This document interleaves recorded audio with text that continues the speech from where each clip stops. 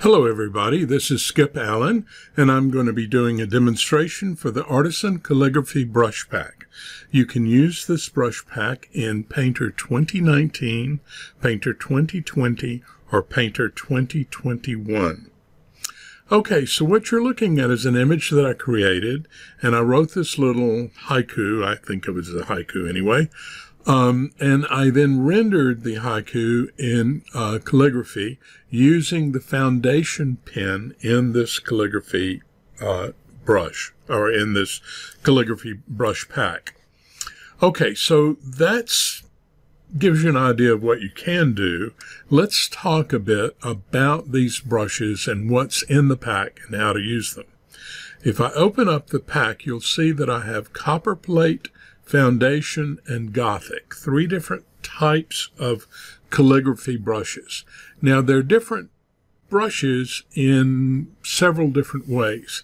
I'm going to first open up a practice sheet. So I'm going to come down here and let's see. Come on, here we go. I'm going to open up the foundation practice sheet. Now it has calligraphy already written on it, and I'm just going to get rid of that for the time being. And let's talk about what's different about each one of these brushes. The foundation brush, what's important with it is that it is set at a 30 degree angle. So the when you when you write calligraphy, you're going to hold the brush at an angle so that you get a thick and thin line de- depending on how you uh, move your your pen. And foundation is usually 30 to 35 degrees in uh, with an angle. And that is true with quite a number of different types of calligraphy. Now, if I switch to copper plate, the angle for copper plate is set at 57 degrees, I think. And so copper plate is really 55 to 60 uh, degrees, maybe 59. I can't quite remember, but it's a much steeper uh, slant. Gothic is set at 45. So if I do goth, Gothic, well, that doesn't look any different. Let me see if I actually went to copper plate. Okay. Let's let's uh, tell you what. Let's start again with foundation. Foundation is 30 degrees, and that would look like that. Copper plate is 57, and it would look like that. Let's go a little straighter. There we go. Okay, and then Gothic is at 45 degrees, and it would look like that. So you have three different angles that you're working with. Now, not only do you have three different angles, but you also have pressure in some of the brushes. All of copper plate is set up to work with pressure. That means that I can do a thin line no matter which direction I go because it's set up with pressure. And that doing that is, is a way to get a flourish. But I can also do it where I get thin and then I increase my thickness and thin and increase my thickness and thin again. So copper plate gives you the, the capability of deciding when and how thick you really want to make the brush. Okay? Now, if we go to goth to foundation, did I say foundation last time? I was talking about copper plate. If I go to foundation, I can't do that same thing because it's not set up with pressure. I'll get thick and thin by virtue of how the brush, the direction the brush is painting, but I won't get thick and thin based on pressure. And the same thing with Gothic is it's going to give me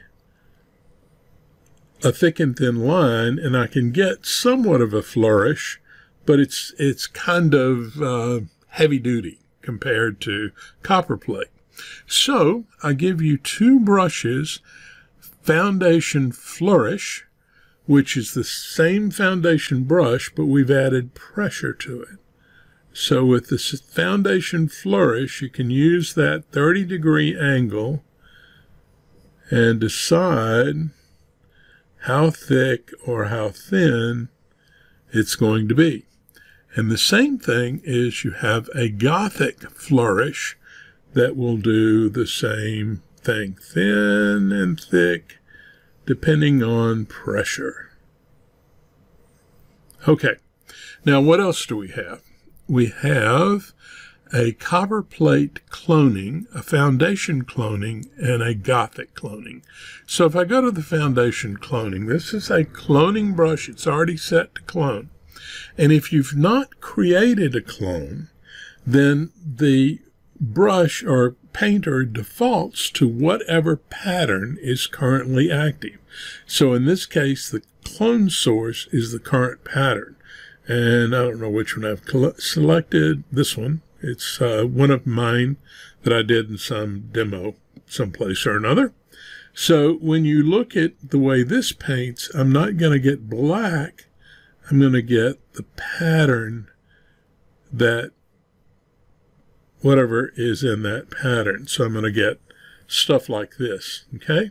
Now that means you can, you can have some really fun, uh, calligraphy with, uh, using patterns or you can also use your textures or you can embed an image and, and work with that. If you have an image that's real, uh, that would look real nice as the background for these strokes, then you could just embed it and use it as the clone source.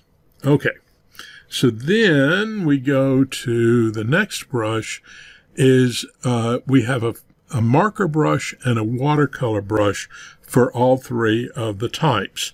So we go to marker, I want to open up my layers panel and I'm going to delete this top layer and add it back. Now what you see is I keep my canvas clean. I have my guidelines here on this layer and I lock it. And I've added a new layer. Now I've selected foundation marker.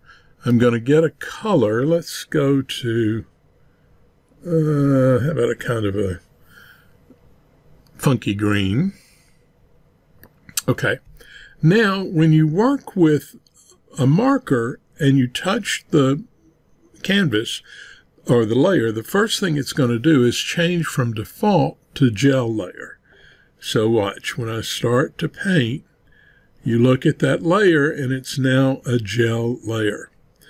And that's because um, these watercolor and marker brushes work on gel so that you get a transparency and whites do not show. Now a marker though, when you cross a marker with the brush a second time, you're going to get a line, you know, where they cross, a thickness. And that can be very nice with uh, working with your calligraphy. That is not the same thing, though, with watercolor. If I switch to watercolor, you're still going to create a gel layer and it's still going to be transparent to what's underneath. But if I come in with a different color, let's grab, uh, say, an orangey color, and I put that down, it looks like it's the same. Everything's working the same until I cover. And in this case, the watercolor brushes will cover the previous color. Okay, it's still a gel layer. It still will be transparent to what's underneath, but it's going to cover itself. Now, if you take the same stroke and cover, cross over it, same color, you're not going to get that uh, double layer that you get with a marker pen. It's just not going to work the same. So you have a cloner, you have a watercolor, you have a marker, you have a regular brush that think of it as ink, and you have the split foundation Um, and you have flourish brushes for the foundation and Gothic, and then the copper plate, all of those are uh, done as flourish. Now, there's one other thing we need to talk about. How do you set up your um, your pens? How do you how do you set up these guidelines? Well, when you're working with calligraphy, if you aren't designing your own and you're using, you go and you find a plate somewhere. This is an example of a plate. This is one I did when I was teaching a class, and this is foundational hand. So this is a plate I can use to learn how to do that particular uh, font. And what it'll do is it'll it'll set it up in uh, graphic lines. It will show you the direction of the stroke and how many strokes are required to make the letter. This one is uh, you have the one stroke and then two strokes and you're done. The B is one stroke, two strokes and you're done. Um, a D though is one stroke, two stroke, three stroke and you're done. So some of them are more strokes than others. Now, how do you decide this, these guidelines? Where do they go? Well, the guidelines are proportional to the width of the nib. So when you look at one of these foundation plates, it should tell you nib width equals whatever number, angle at whatever angle, and as long as it's within about 5 degrees of 30, you could use the foundation. You will have a ascender and descender nib widths equal 3, or whatever, and the cab nib width, cap nib width, nib width, I'm being tongue-tied today. The cap nib, nib width is 6. Now, minuscule letters are the lowercase letters, and they fit in this little grouping here. Uh, where they are descenders, they come down the page like that to the descender mark. If it's an ascender, it goes up the page and it goes up all the way to the top. So you have you have in here. Um, let me switch to my uh, layer adjuster tool. And if you look over here, you have a baseline and you would go four nibs up. That would give you your minuscule area. And from the baseline, if you go six up, that would be four and two more. That gives your, you your majuscule line. That's where your capital letters begin. And if you go from the top of this area three uh, nib widths, that's going to give you your ascender area, and three nib widths down below would give you your uh, descender. So how do you do these nib widths? How do you set that up?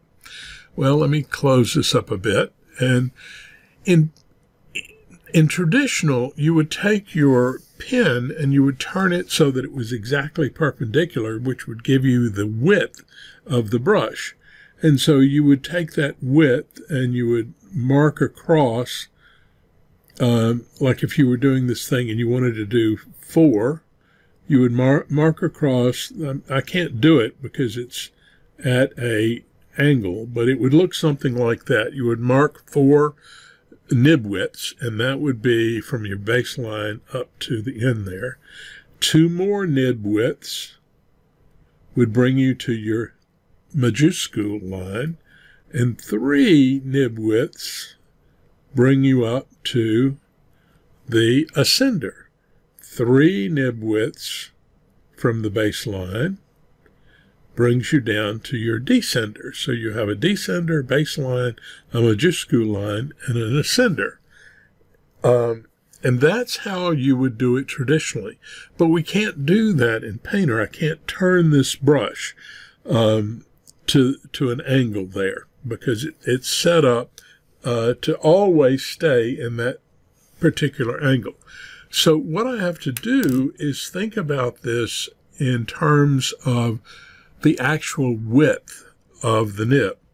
Now we know that this brush is a 10 pixel size. Now the size of brushes in Painter are given to you as radiuses, not as a diameter. All right, so it's half the size or the width of the brush. So this particular brush that says 10 pixels is actually 20 pixels wide. So what you'd want to do is go to your canvas, go to virtual grid and go to virtual grid options. Now here you can set your horizontal spacing to 20 pixels, your vertical spacing to 20 pixels.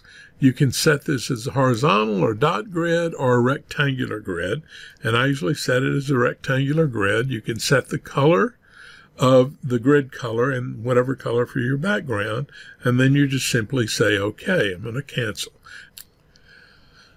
Okay, so the 20 by 20 gives you your virtual grid. And then to come up with your guidelines, your all you need to do is just make a straight line across on these particular uh, virtual uh, virtual grid here, and that that would give you the proportion to work with the size of your brush.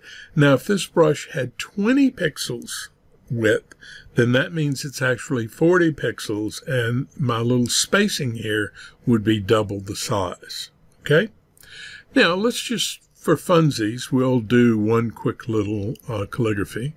We will see if this is on black. It's not. We'll take it down to black. And um, I'm just going to use the foundation. I want to go to foundation regular foundation. There we go. And I'll write something down here. Let's just write, we'll try to write calligraphy. So it's one, two lines, two strokes. The A is one, two. And you want to think about the spacing as you go. Now, see, I missed that line a little bit. That's not good. You want to take it on up to the line. And what's great about working in Painter is you've got the undo. The L is going to come up to the very top and then down to the baseline. And your next one is going to do the same thing, and you want to kind of think about the spacing in between. Then your I looks just like an L, but it starts, uh, it stays within this space here. Your I is dotted like that. And then the G comes around. I'm a little bit shaky. I stayed up too late last night. And then comes around like this, back around like that. And there you go, clig. And then we need an R, which is a fairly simple, oh, excuse me, fairly simple. And then we want a a again. Now, when you do two letters, same letter in the same calligraphy, you want them to kind of look like they're about the same size.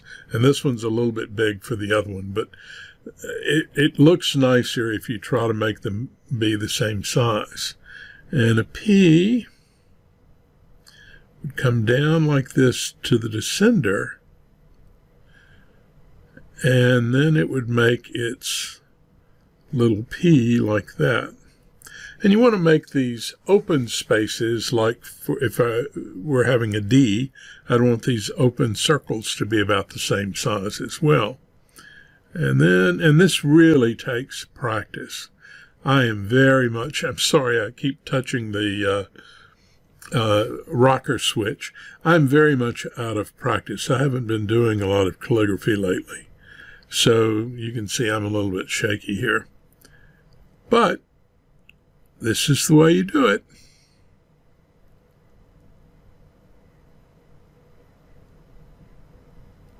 Just like that. And there you go. You have, uh, you've written calligraphy using these foundation pens. And you really, I mean, with practice, you can do pretty nice stuff. Now, I'll show you another image that I did. Uh, this was several years ago, but it'll give you uh, a much more um, it's a much more decorative font. This is based off of some type of copper plate. Uh, it's my own version of it. But anyway, you can see that you can get a lot more um, elaborate with your uh, calligraphy. So you can go from that to the one that I showed you in the beginning, which is this one. Let me turn that off. There you go. And that's just uh, like an illustration with uh, calligraphy on it. All right, that's it about these brushes. I hope you like them. Um, I think they're really workable and you can do some very interesting calligraphy with it. Remember to make yourself some uh, practice sheets and practice. Now, if you don't want to make the sheets, you can buy books that have paper in them that are already lined and you could scan that and put it into Painter. Um, I've even found graph paper, and, and I don't know if I found lined paper. You probably can find lined paper that's digitized, uh, something that you would go and find on the web, and then you could download it and load it into Painter. And you do want to use those guidelines as you're working with calligraphy. Alrighty, that's about all I can tell you. I hope you enjoy the brushes. Bye bye.